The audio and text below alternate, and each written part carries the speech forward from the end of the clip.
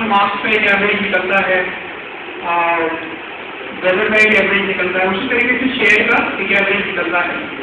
Average price is the weighted price of all the duration मैं अगर दस दिन की बात कर रहा हूँ तो उन दसों दिन को टोटल करूँगा डिवाइड बाई टेन कर दूँगा। तो मुझे सिंपल मूविंग एवरेज का अब मूविंग एवरेज में और एवरेज में डिफरेंस क्या है? तो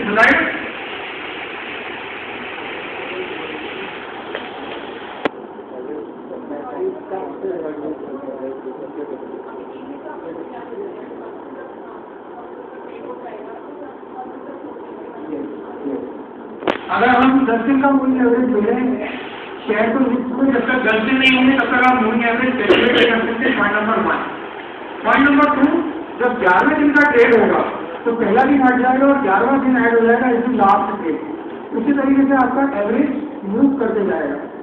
As the share move moving average उसका आगे चलते जाता है। इसलिए एज मूविंग एवरेज कई सारे एवरेजेज होते हैं पर जो कॉमन एवरेज है एक है सिंपल मूविंग एवरेज एक है exponential moving average simple moving average calculated very simply अभी हम देखेंगे।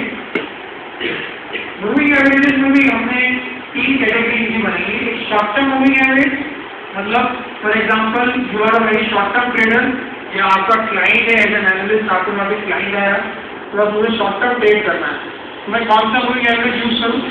तो आप तीन पाँच और सात दिन का मूविंग एवरेज यूज़ करेंगे, अगर आप शॉर्ट टर्म की बात करते हैं। आपको अगर मीडियम टर्म देखना है तो फोर्टी ट्वेंटी वन और ट्वेंटी फाइव डेज़ का मूविंग एवरेज यूज़ करेंगे। लॉन्ग टर्म देखना है पचास, सौ, डेढ़ सौ, दो सौ।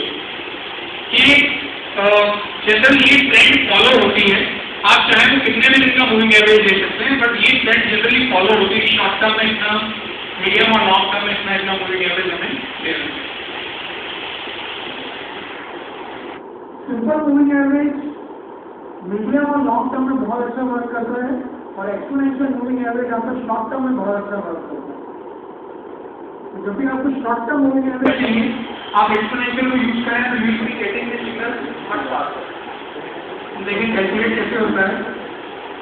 Simple moving average short term unit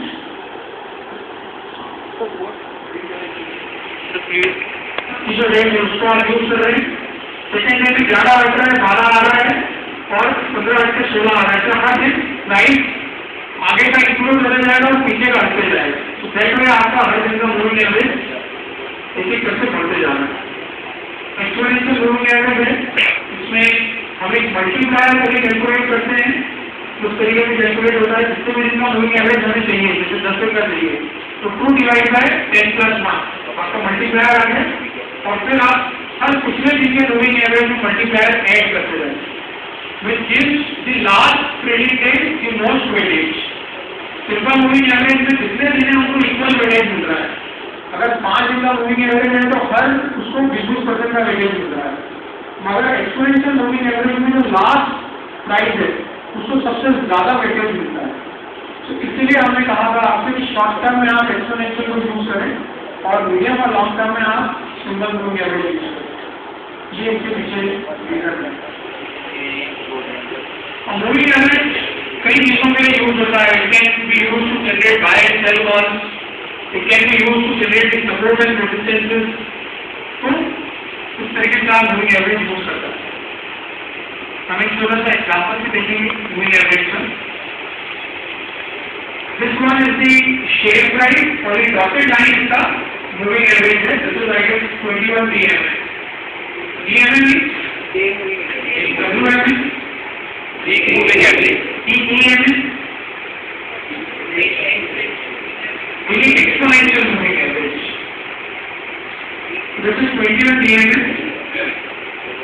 यहाँ पर देखिए जब भी शेयर मूविंग एवरेज से नीचे आ रहा है यहाँ पे शेयर सिग्नल लगा है जब भी शेयर नीचे आ रहा है यहाँ पे सेल सिग्नल होगा जैसे यहाँ पे शेयर नीचे आ रहा है सेल सिग्नल होगा जब भी शेयर मूविंग एवरेज से ऊपर जा रहा है। आप यहाँ पे गाय जनरेट करेंगे इसके पीछे लॉजिक क्या है?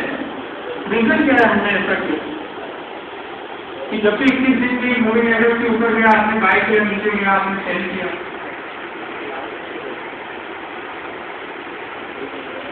देखिए इक्कीस दिनों से जो प्राइस को, जिस ट्रेंड को ब्रेक नहीं कर पा रहा था, आज उसने उसको ब्रेक करेगा which mean some positive trigger has inbuilt developed in this stock that's the simple reason कि आप उसे कहते हैं एवरेज के ऊपर ये स्कूल या एवरेज के नीचे ये स्कूल वही चीज़ यहाँ पे आ रही है। रिलेटिव स्ट्रेंथ इंडेक्स आरएसआई जो है आ, ये शेयर की स्ट्रेंथ को मेजर करता है।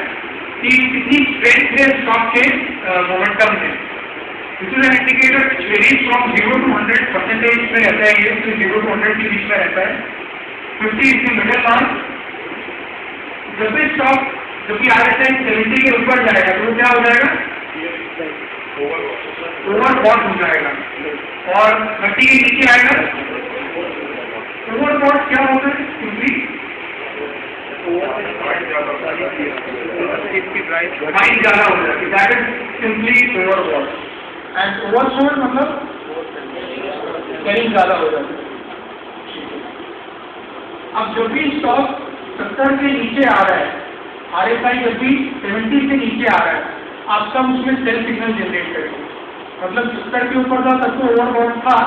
मगर जैसे उसकी स्ट्रेंथ वीक होनी चालू हुई, सत्तर के नीचे आया मतलब अब उसकी स्ट्रेंथ कमज़ोर हो गई है now it sell stock and similar way when the RSI move about twenty तीस के ऊपर जब आरएसआई जा रहा है मतलब उसकी स्ट्रेंथ मज़बूत हो रही है। You can buy that particular stock इसमें 15 मार्क 50 मार्क की जो लाइन है फिफ्टी लाइन जो है, उसको भी हम डबल कंफर्मेशन में यूज़ कर सकते हैं। जैसे 30 के ऊपर गया और 50 के भी ऊपर चला गया मतलब डबल कंफर्मेशन होगा कि अब स्टॉक में स्ट्रेंथ बहुत बढ़ गया है।